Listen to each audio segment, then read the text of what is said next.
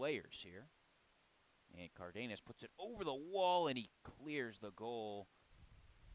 Plays it short, gets it back and crosses it in. Ball goes all the way across, headed, but Herskinen is there. Here's the kick taken by Castro. Comes back out to May. May will try a shot from deep, and it almost goes in. Good save that Cardenas playing it through. No offsides here, and there's a shot. What a save by Herskinen.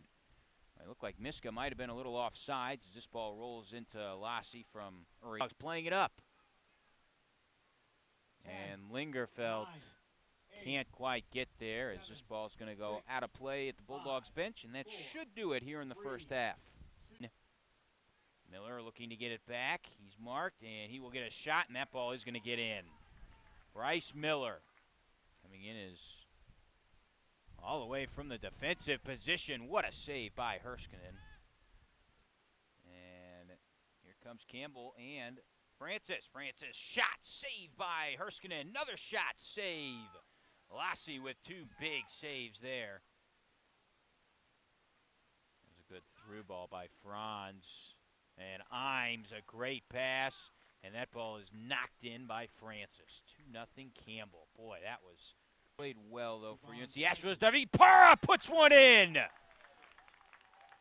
David Para on the long throw in from Ryan George. The ball was popped up in the air, and Para still with it. Lingerfeld with a cross. It's there! The Bulldogs score! Jake Hagedorn! All tied up two to two. Through ball to Terry. Terry's got a breakaway. Saved by Herskinen. Here goes Francis.